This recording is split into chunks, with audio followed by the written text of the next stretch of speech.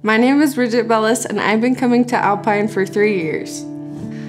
I want to get baptized because I want to show others that I want to boast in Christ. Um, he's my Savior, and He's the reason that I live today.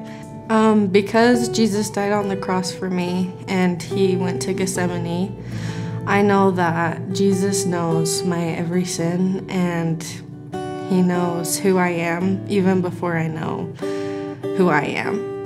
Um, Matthew chapter 5, verse 14 through 16. You are the light of the world. A town built on a hill cannot be hidden. Neither do people light a lamp and put it under a bowl. Instead, they put it on its stand, and it gives light to everyone in the house. In the same way, let your light shine before others, that they may see your good deeds and glorify your Father in heaven.